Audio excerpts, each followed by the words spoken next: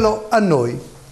Ulteriore appuntamento di questa trasmissione, voi la tanto la sollecitate, la, la seguite, mi fermate, mi dite i vostri assensi, i vostri dissensi, le vostre sollecitazioni. Sono tante e tantissime le cose da farsi che amici a casa dovremo tentare di farla un giorno sì, un giorno no la trasmissione, ma non, non si può fare così. Bene, abbiamo iniziato eh, questa trasmissione con, eh, una, voglio iniziare questa trasmissione con un evento gioioso, perché alla fine faremo, vi faremo vedere come un signore anziano, eh, appena compiuto 18 anni l'altro ieri, ha 80 e più anni in verità, come spende il suo tempo. Eh? Non sta con le carte in mano, non sta nei circoli buttato a dire parolacce o nei parchi. Io vedo nel parco Schwerte si radunano tante persone mature, le urla le bestemmie arrivano dappertutto, quindi sono di pessimo esempio ai bambini. Comunque una persona laboriosa che spende il suo tempo, dice solo a boccetta, perde sempre, che c'è questa passione, spende il suo tempo nel, nel realizzare tante belle cose. Bene, siamo andati in via Giovanni Gentile, abbiamo incontrato la signora Esterina Pecci, non solo lei ma tante belle signore. Andiamo a vedere di quali problemi si tratta, ci sono tre problemi lì che vanno risolti. Andiamo a vedere.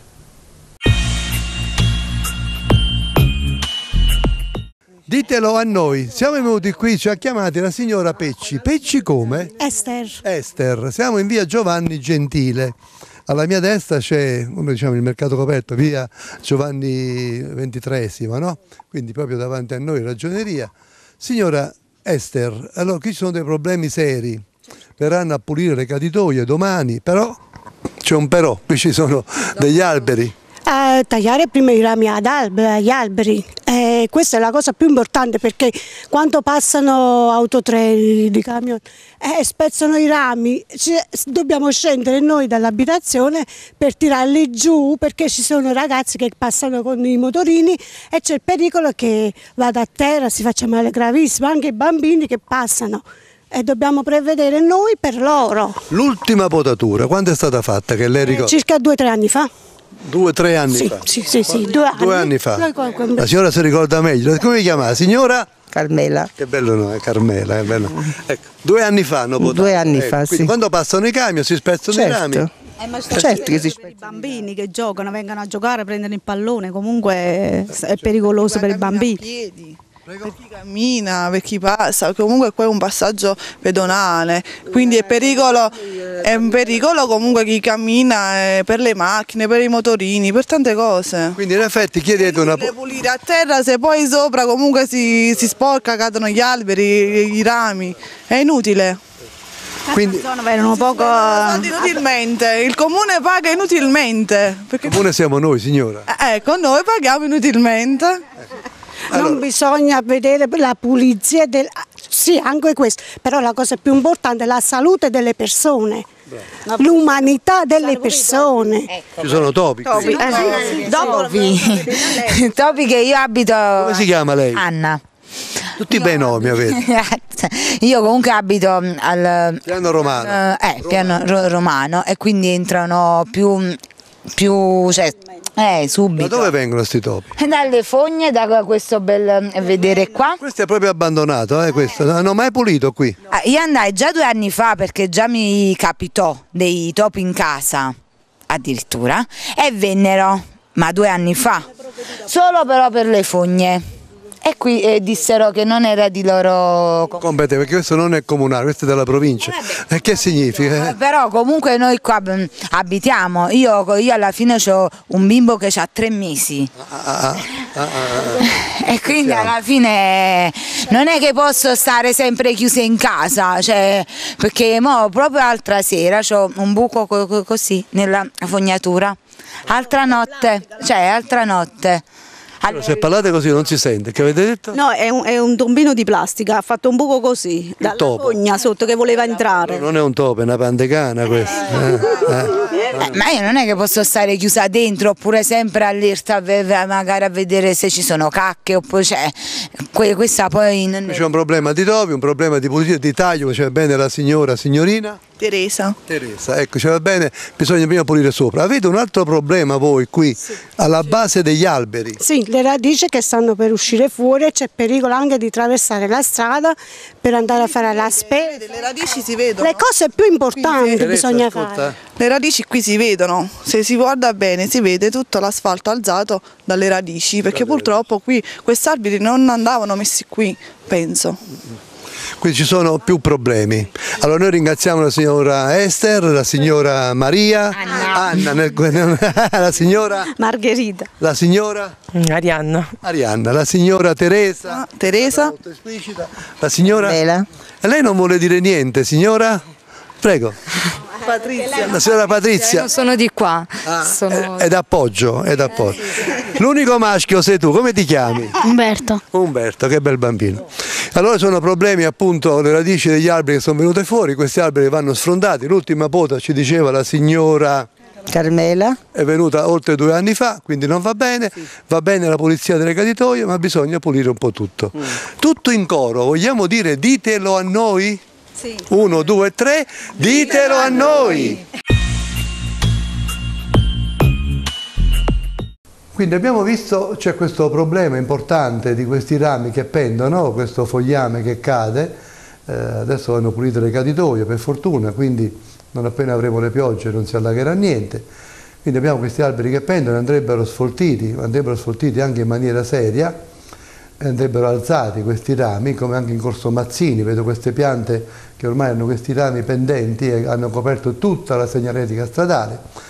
Ma in via Giovanni Gentile, che poi è vicino al mercato coperto, al nuovo mercato coperto, non quello che esisteva in via Rosario Senatore, un tempo, tanti anni fa quando ero ragazzino, il nuovo mercato coperto, quindi là vicino, e questa, questa, questa esigenza è dettata dal fatto che quando passano i camion, giustamente diceva la signora Esterina, ma anche le altre signore, è pericoloso perché in effetti i rami si spezzano, cadono e possono creare problemi come li hanno già creati. Ci sono pantecane che non vi dico, e questa è una derettizzazione particolare va fatta, perché c'è un piazzale, uno spazio proprio attiguo a ragioneria, eh, l'istituto tecnico Matteo della Corte, chiamiamolo col suo nome, eh, il quale è incolto, è abbandonato e quindi c'era di tutto e di più.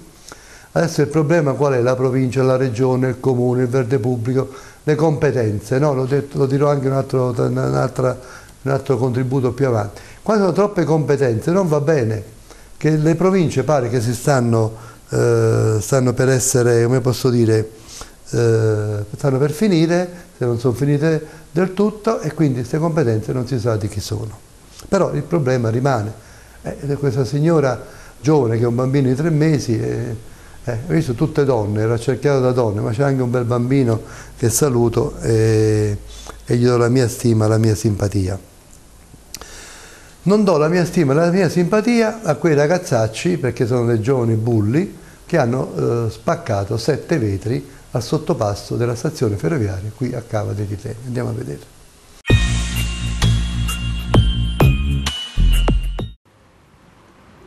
Ditelo a noi. Ecco l'ultimo regalo che ci hanno fatto i giovani. Di dove siano non lo sappiamo, se sono cavesi, se sono dell'agro nocerino, questo non lo sappiamo. Certamente è un regalo che ci hanno fatto i giovani. Sono sette vetri, sette vetri che sono spaccati. Ci troviamo nella stazione ferroviaria qui di Cava dei Tirreni. Non c'è più rispetto per le cose, è inutile dirlo. Alle 13.35 il bigliettaio va via perché arriva alle 6.20 e va via alle 13.35. E poi questo plesso, quindi lo plesso ferroviario, la stazione, è nel libero arbitrio di chiunque. Chiunque viene qua fa quello che gli pare e piace, la vigilanza. Non ne parlate proprio, parliamo, questa parola ce la dobbiamo scordare. Non esiste che la polizia locale, i carabinieri, la polizia di Stato, la guardia di finanza, la, poli- la forestale, guardate quanti corpi di polizia abbiamo in Italia, scende d'iniziativa e viene qua a guardare se Livio Trapanese si comporta bene o fa il bullo o spaccia stupefacenti o con altri amici, qua se venite alle 12.20 all'1.35, vedete i cannaroli, qua è una cosa incredibile quello che avviene. Quindi hanno spaccato questi sette vetri del sottopasso. È un danno, no? Dico, tu delinquente che l'hai fatto, che hai pensato di fare? Sei andato a casa e hai mangiato a pranzo con i tuoi genitori, con i tuoi fratelli in maniera più compiuta, più allegra, hai fatto una bravata, che hai fatto? Hai regato un danno alla società. Qui c'è una fontana che un tempo, tanti anni fa, funzionava. Niente di difficile, è stato preso una pietra, ci sono tanti massi là dentro e hanno fatto questo regalo. Vedete che è una cosa incredibile. Adesso ci vuole denaro pubblico, imbecille. Quello che tu rompi è denaro pubblico, non è che i soldi vengono da Marte. Quello vorrei far capire a voi giovani quando fate, create danni. Va bene? Ditelo a noi.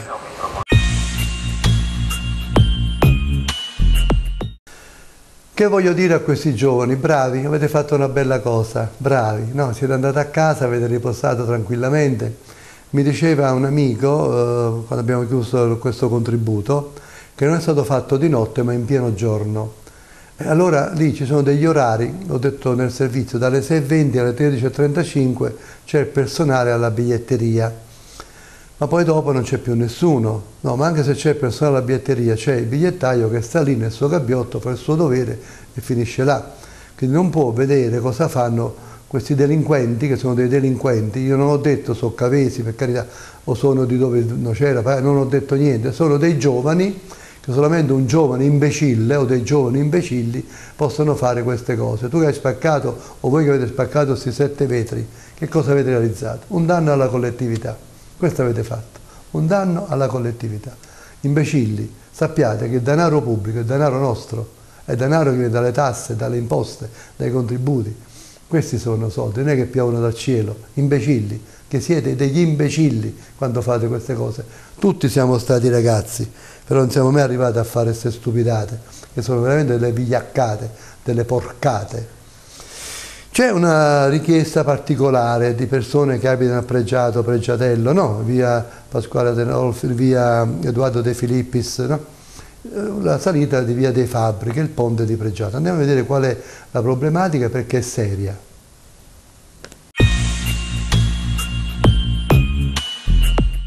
Ditelo a noi, ci troviamo in via 25 luglio ancora, qui alla mia sinistra come vedete c'è l'incrocio per il Pregiatello, diciamo per il Pregiato, no? via dei Fabbri, questa qua si chiama il ponte di Pregiato, tra virgolette, in modo che capite.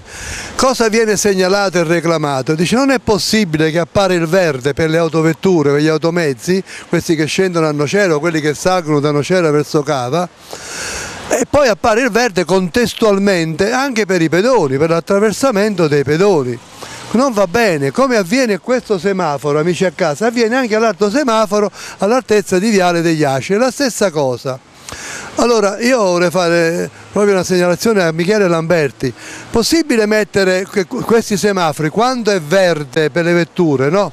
Vedete questa vettura va, dritta, va a destra, ma se deve attraversare un pedone mettiamo un semaforo con la pulsantiera, col pulsantino, pigia e c'è il rosso per le autovetture, per gli automezzi e il verde per i pedoni, così vanno in sicurezza, non si può avere il verde alle autovetture, agli automezzi, ai motomezzi, chiamateli come vi pare e piace, e il verde al pedone.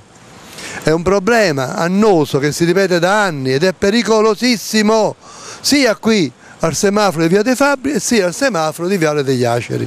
Meglio di così io non lo so spiegare, ci vuole un semaforo, i semafori tutti e due per i pedoni che devono attraversare l'ex statale 18, qui via 25 luglio, eh, sì ho detto bene, 25 luglio, con la pulsantiera, un pulsantino deve pigiare, appare il rosso agli automezzi, gli automezzi si fermano e i pedoni possono passare in sicurezza, attraversare la strada in sicurezza, ditelo a noi.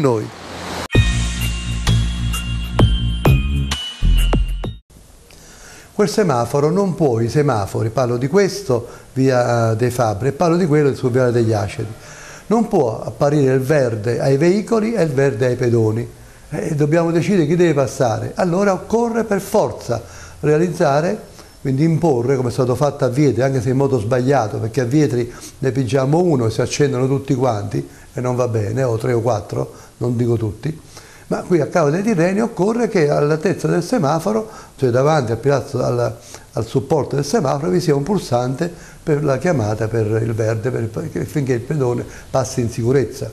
Non può, le macchine che scendono da Viale degli Aceri o vengono da Via, Arte, via dei Fabbri, vengono, si mettono su via, via 25 luglio, la casa statale 18, e incontrano poi i pedoni. Non è possibile questo.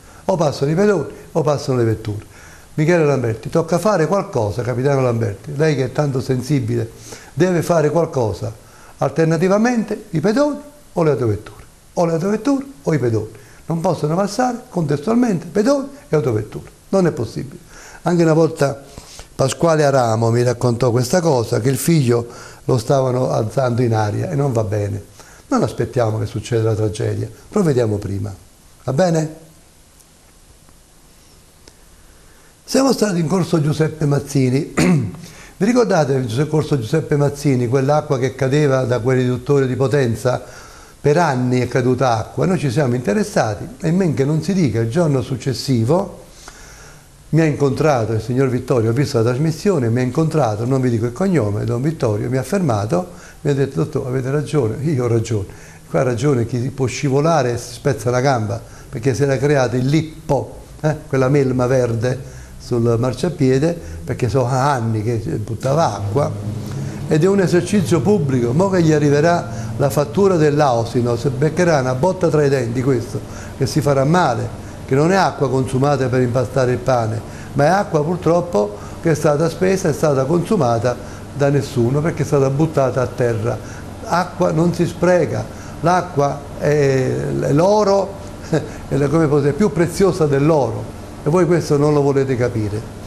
Don Vittorio mi diceva che aveva riferito alle signorine di questo esercizio, le quali se ne sono fregate, lui a sua volta di propria iniziativa ha richiamato, ha chiamato il proprietario di questo esercizio commerciale il quale ha provveduto e questo ringrazio Don Vittorio che ha fatto una cosa buona, bravo. Le pensiline, le pensiline che abbiamo sul corso Principe Amedeo, a Via 9 diciamo noi, no? E le benzine che stanno sul nuovo trincerone mancano di panchine e non va bene. Mancando di panchine, questa povera gente come deve fare? Andiamo a vedere.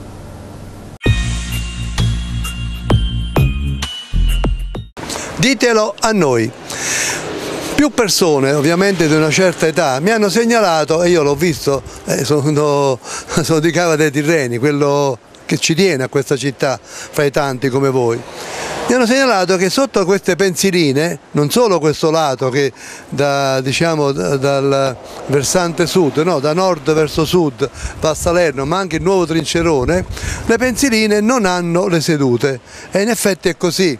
Allora, le persone, cioè, quando noi scendiamo a cava anche dalle frazioni e facciamo la spesa, abbiamo queste buste in mano, è anche indecoroso insomma, metterle a terra. Allora si pensava a, fare, a far posizionare delle sedute, delle panchine panchine con delle pensiline dove appoggiare pure queste cose, ma soprattutto quella cosa importante di avere delle panchine, almeno un paio di panchine, qui è coperto e rendere più agevole, più, più confortevole no, queste panchine. Voi immaginate uno che aspetta pure chi deve andare a Salerno, non solo chi va sulle, nelle nostre fazioni, sono 21, però anche chi deve andare a Salerno, aspetta, aspetta, aspetta, aspetta, insomma si siede e sta un poco più tranquillo. In altre città d'Europa c'è qui un pannello, quando io vado a Vienna o vado a Monaco, c'è un pannello che mi dice qua fra quanti secondi o quanti minuti mi arriva il pullman, qua siamo in Italia, nel sud Italia e chissà se i miei pronipoti lo vedranno questo, Vabbè. ma quantomeno delle panchine, delle, degli appoggi dove appoggiare qualcosa casa, degli alimenti per esempio, uno va a comprare la carne, il pane, vabbè che è confezionato, è condizionato, però delle panchine, delle sedute, che sono tutte così, sia questo lato e sia dall'altro lato come avete visto. A chi lo dobbiamo dire? Non so il compito di chi è qua, del CSTP, della SITA, dell'amministrazione comunale, di chi gestisce eh, queste, queste, queste, coperture, questo io non lo so, non so di chi sia, ma sono certo che questo programma che visto da tutti quanti voi saprete far arrivare alla persona giusta questa supplica, perché è una supplica da parte degli anziani. Ditelo a noi. Quindi come avete visto le panchine, eh, mancano queste pensiline, mancano di panchine. Allora, signore e signori, noi facciamo la spesa, insomma, ve l'ho detto, è inutile che ripeto le stesse cose. Occorre su queste pensiline, ovunque si trovino, anche a San Cesario ci sono delle pensiline, ovunque ci sono pensiline, occorre mettere una panchina, in modo che le persone anziane si possano sedere. Anche se a Santa Lucia, io ricordo, eh, non sono nuovo di queste disavventure, vi era una panchina, c'era gente che reclamava che quando pioveva per la panchina non si poteva riparare perché la panchina era troppo profonda, era troppo, ah, troppo larga il vestito è corto e lungo, non si sa mai chi accontentare e questo veramente è una cosa alla quale io non so come rispondere. Bene, concludendo eh, abbiamo due servizi importanti. Voi sapete a Cava dei Tirreni abbiamo sei fontane al centro, nel centro di Cava, nella valle, sei fontane. Vediamo questo servizio. Ditelo a noi, non fate altro che protestare per questo questa fontana, sappiamo chiamare così fontana, che qui nel parco Falcone Borsellino. Io purtroppo tutto lo definirei eccetto Fontana. Noi ne abbiamo sei qui nel cuore, nella valle, qui a Cava dei Tirreni. Allora, la prima è quella proprio vicino alla stazione ferroviaria, no? Corso Principe Amedeo, tipo nave, che è stata ripresa molto molto bene. Eh, la seconda troviamo davanti al Parco Beethoven, lato nord, nel Parco Schuerte, no? quello che voi dite la Villa Nuova, quello è il Parco Schuerte, ed è stata ripresa da capo, quindi eh, l'Ausino, l'ufficio manutenzione, quindi ringrazio l'ingegnere Collazzo, eh, il verde pubblico, tutti sono attivati per queste ville. Un'altra fontana che è molto bella, è stata la, messa a lucido proprio dalla Metellia, no? proprio, eh, un grande lavoro è stato fatto, quella proprio in piazza, quella piazza eh, Vittorio Emanuele III, che voi dite piazza Duomo. Qui siamo nel parco Falcone Borsellino, sono cinque con questa, c'è la sesta che è peggiore, poi andremo a vedere. Questa qui c'era una volta tartarughe, pesciolini, no? c'erano tante cose, qui adesso ci sono zanzare che, ecco, che mi girano attorno, zanzare quando ne volete, e c'è questa massa, questa carenza di ossigeno nell'acqua ha creato questa massa superficiale di, di, di muschio, di, di erba, di flora, non so come definirla. Anche questa io ritengo che sia giunta l'ora per rifarla ex novo, va chiusa, va rifatta, va vuotata, va riposizionata. Eh, io non so a chi riferirmi, se eh, l'assessore Enrico Polichetti, non lo so, se è Nunzio Senatore, che a volte non si riesce neanche a capire queste competenze di chi sono, dell'uno, dell'altro, se dell'Ausino, se della Metellia, se dell'ufficio manutenzione, se del verde pubblico. Troppa gente, troppi troppi, come sto dicendo a modo mio, no? troppi, troppi riferimenti, se ce ne fosse uno solo forse è meglio. Quindi anche questa quinta fontana chiamiamola così, qui va sistemata perché le zanzare sono tante e certamente non è una fontana. Ecco la sesta fontana, eccola qua.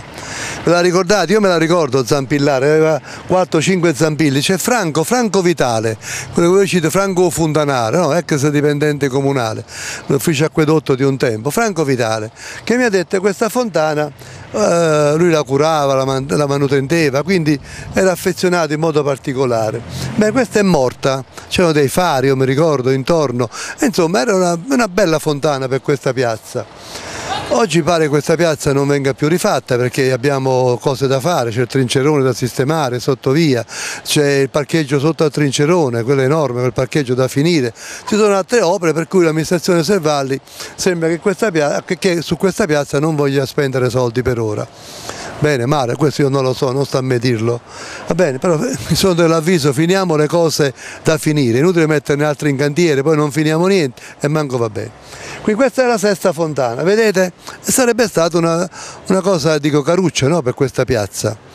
Allora che diciamo? Su sei fontane, qui al centro di Cava dei Tirreni, al centro, non parliamo delle frazioni, eh, ne abbiamo quattro belle funzionanti, una che chiede pietà, che è quella nel parco Falcone Borsellino, la Villa Nuova, lo voglio ripetere, così la chiamate voi, quello si chiama Parco Falcone e Borsellino, in ricordo di due magistrati che hanno speso la loro vita per la giustizia, per la legalità. Bene? E questa che ovviamente chiede soccorso. Amici a casa, ditelo a noi.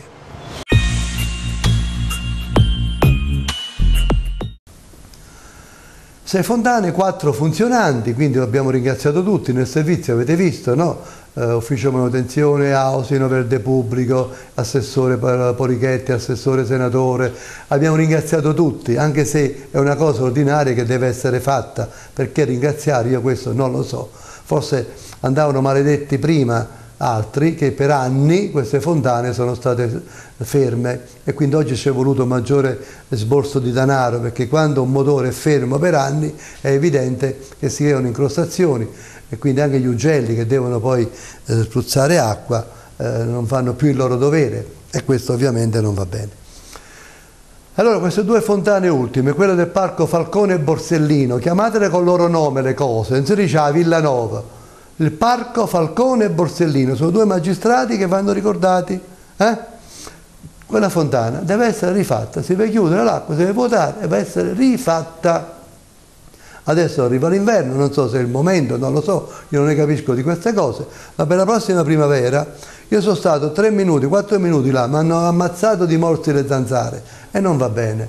C'erano tartarughe, pesciolini, adesso non c'è più niente. C'è del liquame e basta, sporcizia, Qualche delinquente ha buttato anche bottiglie di birra, bottiglie di plastica. Poi i delinquenti stanno da tutte le parti. Io li chiamo bastardi. Poi le signore dicono, eh ma quello dice parolacce, dice parole...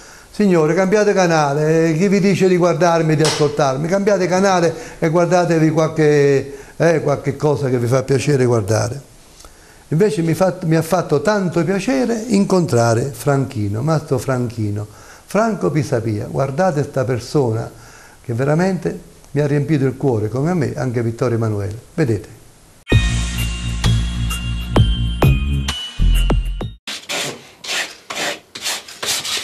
Ditelo a noi, ci ha chiamato Franchino, il signore Franco Pisapia, siamo in via Gueritore 10, qui proprio nel cuore di Cava dei Tirreni.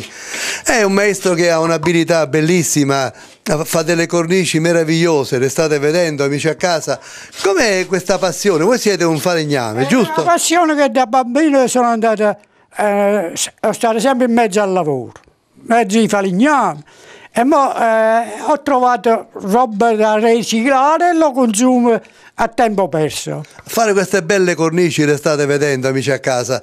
Ecco, poi questi quadri che sono anche antichi, queste immagini antiche, Franchino, dove le trovate? È, è, è un'espressione che mi viene quando dormo. Dormendo mi viene questa cosa da fare e non ci dormo per realizzare questa eh, cornice, dette cornici che poi ci sono tante altre cose che ho fatto. Eh, ho visto, avete fatto del, degli scrigni, delle cose veramente carucce. Eh, Vedo questi pezzetti di legno tutti scavati, come fate per scavarli? Eh, tutti con gli scarpelli. Ah, con lo scalpello? Tutte a botte di scarpello, carta vetro, raspe e tutto. Eh, per esempio, per esempio un pezzo di legno dei parquet buttati io ci creo una cornice così, eh? vedete? Angollo questo pezzettino qua, poi allora lo affinato, eh, lo affino, lo, eh, metto una cornice in giro così e, e realizzo una cornice.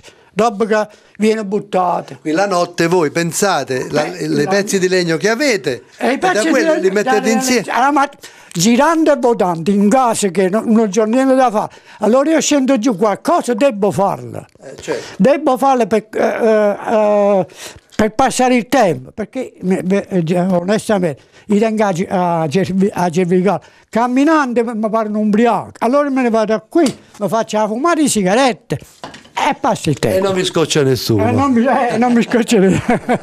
e veramente sì, posso fare qualche regaluccio mai, mai per, eh, per, fini, per, fini, lucrativi. Per lucrativi, sì, no, per amicizia. Certo, eh, certo. Viene qualcuno e dice quanto è bella che si prende, eh, facciamo un tavolinetto da quattro piedi, i tavoli di legno, ha fatto un tavolino, eh, fai, fai vedere.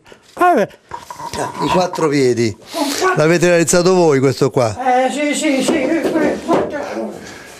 Ah quattro tavolette ho fatto i piedi, i piedi. Ah, con le tavole avete fatto i piedi eh, al tavolo? Sì, tagliandolo, tagliandolo così è venuto questo piede qui e questo l'ho, messo. Avete assemblato? assemblato? E ho fatto il piede di tavola che pochi ci riescono. Eh. Pochi ci riescono. Faccio dire, faccia. Oh, quasi mi mette un scaldino. Ah, per lo scaldino per l'inverno, Eh, la cuccia per il cane, oltre alle cornici ovviamente, Oh, oltre alle cornici. Pia. San Pio abbiamo visto. Eh, fate tante cose. Eh, tante cose. Che volevo dire, ecco, da quanto tempo voi vi dedicate a questo? Da una vita intera, sono più di 62, 60. Voi eravate falegname? Sì, mio padre falegnami, i cugini, i gaggesi, Ah, i gaggesi. i gaggesi di Passiano. Io sono nato in mezzo ai falegnami, sono 72, 73 anni sicuro di mestiere. Ma quanti anni avete? 82. Quindi da bambino? Da bambino, quando uscivamo dalle scuole, andavamo a master, a master. E è entrato nel sangue è un mestiere. Appunto, io- mi vengono certe idee che poi, se me li dimentica, io già realizzato pensandoci un po' di più. Ho capito. Vabbè, dovete fare mente locale, va bene. Allora, abbiamo detto tutto, Franchino? Tutto, tutto, il banco di abbonamento di mio padre, Ah, Il banco di lavoro. il banco, il banco di lavoro, sì, e Quindi realizzato. quello avrà oltre un secolo. È qualcosa in più. Più perché tutto- eh, i piedi sono tutti da lato che si mandano scommessa all'impiedi. Avete ragione, per scommessa. Bene, allora, noi amici a casa vogliamo ringraziare Franchino. No, io voglio ringraziare a voi, senza fare eh, reclame, pubblicità. Io se trovo qualche amico che dice eh, quanto è bello che prenditela, io non, non chiedo niente, non chiedo niente a nessuno. Lo se sappiamo. dovrai venderlo, io non ne vengo mai perché costa, ci sta un puzzo di tempo. Quindi eh, preferisce regalare. Amici a casa, questo che ci insegna che nonostante questo signore ha compiuto 18 anni l'altro ieri, no 80, eh, è sempre attivo, è sempre vivo, vedete, dice devo fare qualcosa, quindi non sta davanti a un bar buttato o con un mazzo di carte in mano, vero? Oh, vicino a buccette che perdi sempre, un biliardo che perdo sempre per, per il, per il gioco non c'ho fortuna, per il lavoro non mi, non mi lamento. E allora vive il lavoro, ditelo a noi. Grazie Franchino, un grande esempio, un grande esempio a tante persone, forse più giovani di voi, ai quali io dico prendete esempio, guardate una persona, gli anni passano, ma la, la- come posso dire, l'attenzione per gli altri, per se stessi, sentirsi utili, darsi da fare. Avete visto quante cose belle realizzate? Lui le vuole regalare, non vuole niente, sono dei quadri bellissimi, realizzati con le sue mani, è un artigiano provetto, bravo e complimenti. Quindi come ci sono i delinquenti che rompono i vetri al sottopasso della stazione ferroviaria e sono dei delinquenti giovani, spero che si ravvedano quanto prima, ci sono persone adulte, mature, ma mature seriamente, che danno lezioni di vita. Ditelo a noi.